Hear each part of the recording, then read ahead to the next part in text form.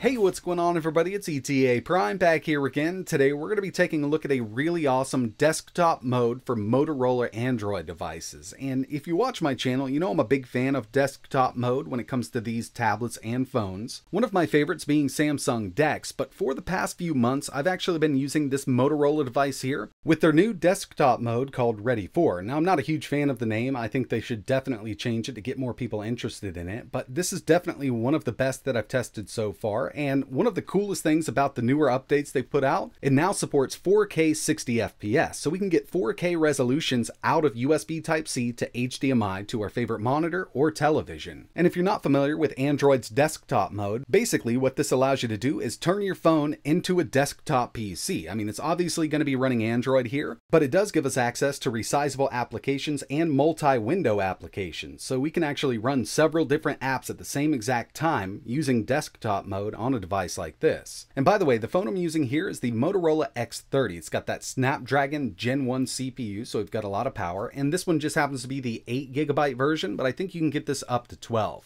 Not all of Motorola's phones support Ready For. I think the lowest end one is the G100, but it's actually a really decent device. The main reason I opted to pick this device up was because it had that Snapdragon Gen 1, so we can get some really awesome emulation and gaming out of the way. And when it comes to some of the easier to emulate stuff, we can go up to 4K with it, and it looks absolutely beautiful going from USB Type-C to HDMI. Ready For it does support wireless displays, but I'm not exactly sure if you can do 4K. Either way, it's always best to go wired with it. You're going to have zero latency there because we've got a wired connection. And you can go about this several different ways. If your monitor or television supports USB Type-C video, you can plug it directly in there, or you can use a cheap adapter from Amazon. There's a few available. I'll leave some links in the description. Setup is really easy. I'm using the docked adapter here. It's got USB 3.0, it's got micro SD card support, full-size SD card support, and USB Type-C in for charging. But all I need to do is plug it directly in. We've got the dock plugged in to HDMI on the monitor, and it pops right up for us. We can use the screen as a trackpad to control the operating system on the external monitor, or you can go ahead and plug in a mouse and keyboard to make it a real nice PC experience. But as soon as you plug this in, you'll notice we've got four different sections. We've got our gaming section. This is really just going to kind of line up all of our games. Same thing with the video chat and the media area. It'll throw in Netflix, YouTube, and everything like that. But my favorite part about this whole operating system is the desktop itself. It supports 720 up to 4K 60, and right now I'm actually set at 4K. You can do it directly from the Ready For app on the device itself, or you can go into the settings in desktop mode and change it from there. You can also resize the icons, but if I go down to 720, you'll see that the resolution on the external monitor does change. Go back up to 4K here, and uh, from here, I know it's really hard to see, we do have a section to kind of scale all of these applications up and the font itself. That way, it does make it a little easier to see when you're running at a 4K resolution, but I wanted to run it like this because I wanted to see what we could do at 4K. Now, a lot of these Android games aren't going to run at a native 4K, but they still look amazing on a decent display. But when it comes to emulation and video, we can output 4K resolutions. So in desktop mode, we have all of our apps lined up right here. If you've ever used Windows or any kind of variant of Linux or even Mac OS, then you'll be good to go using this. We've got multi-app support, so we can open up several apps at a time. It does have a snap function, so we can snap one over to the right-hand side and one over to the left-hand side. All of this is resizable. Just go up here, snap it to the right, take this calculator, go full screen with it, and we can snap this over to the left. So having a nice little workspace is super easy with Ready For. But I'm going to get right into some testing because I want to show you how this performs. First up, we're going to do a little bit of 4K video playback from YouTube. Okay, so I'm using the stock version of YouTube directly from Google Play. We'll hit up a 4K 60 FPS video. And from the settings, I want to make sure that we are set to 4K. And in a second, I'll show you stats for nerds running because it does do 4K 60 really well here. And we're just streaming over Wi-Fi 6. This is actually really awesome to see a true 4K resolution at 60 Hz coming out of a phone like this over USB. Again, I have not tested this wirelessly. I'm pretty sure it would do it, but uh, if you want to do any gaming or emulation, I would highly recommend using a wired connection. That way you have no latency whatsoever.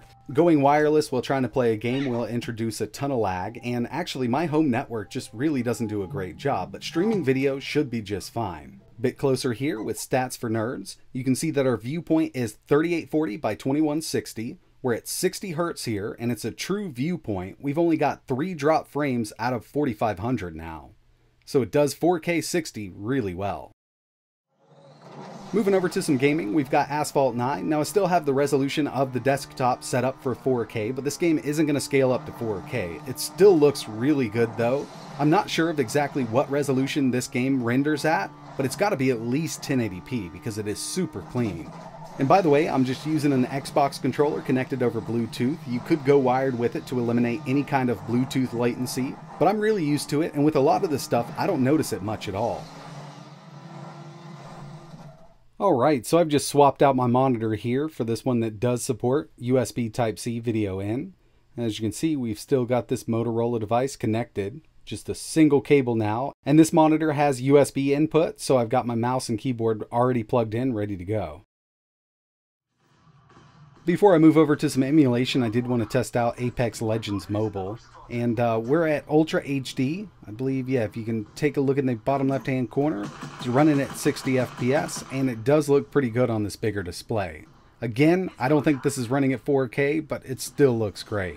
So yeah, basically anything that supports a controller on Android will work really well on an external display. Something like Genshin Impact, at least at the time of making this video, doesn't natively support controllers, but you could use a third-party app to play it if you want to. But you know, my favorite thing to do with these more powerful Android devices over HDMI is emulation. And the first one we have here is PSP using PPSSPP, got the standalone version here. 10x resolution Vulkan backend with Tekken 6. Something like Chains of Olympus, we can go up to 6x. It's not quite 4K, but it still looks great. This here is totally maxed out, and it definitely looks like a whole nother game.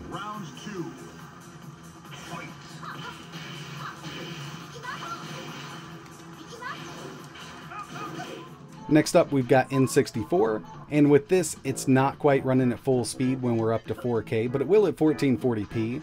You know, upscaling these N64 games does make a difference to a certain point.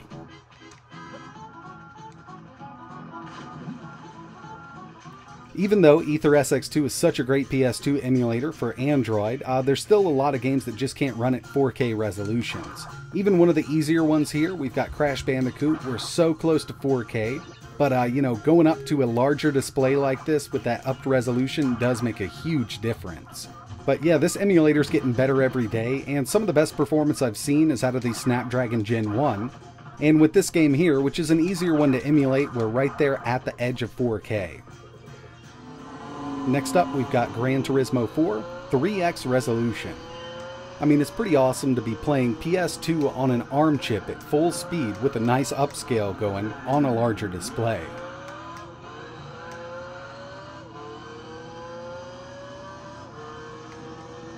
So obviously, I'm a huge fan of these devices with desktop mode built in. One of my favorites is Samsung DeX, but it's been a bit stagnant. I mean, ever since the Galaxy S9 and the S10 on up to the S22, we've basically got the same features and they've actually removed some of the features that I used to love. Motorola Ready For isn't a great name, but it's a newer desktop mode, so they have been kind of updating it continuously and hopefully it keeps going.